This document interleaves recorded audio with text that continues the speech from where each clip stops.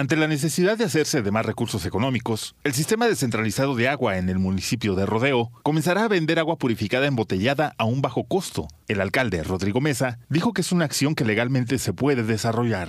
Es autónomo, el sistema centralizado de Rodeo eh, orgullosamente se, mantiene autónomo y, y, sí se logra una buena captación. Usted sabe que siempre hay un porcentaje de gente que, no paga, pero se ha incrementado y el servicio ahorita se está eficientando.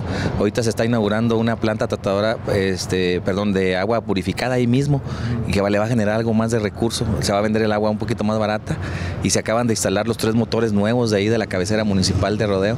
Entonces la gente está viendo ese trabajo que se está desarrollando, que se está viendo que le estamos echando muchas ganas y como que ese, eso motiva a la gente a pagar también. Es, es un esquema único, ¿no? En Durango, eh, el de purificar agua a través de un sistema pues ahí, ahí con agua, como es un sistema descentralizado, sí lo puede. A lo mejor nosotros como presidencia municipal no podemos, pero gracias a que es autónomo y es descentralizado, este, ellos sí pueden generar algún tipo de, recursos y se va, se va a vender el, agua a muy bajo costo, casi simbólico, para que la gente más necesitada tenga áreas de oportunidad ahí. Y, y bueno, pues ni modo le vamos a hacer competencia a la iniciativa privada ahí también. El alcalde agregó que dicho organismo tiene su propia junta de gobierno y que fueron ellos quienes tomaron la decisión, misma que observó como una buena medida para mejorar las condiciones financieras.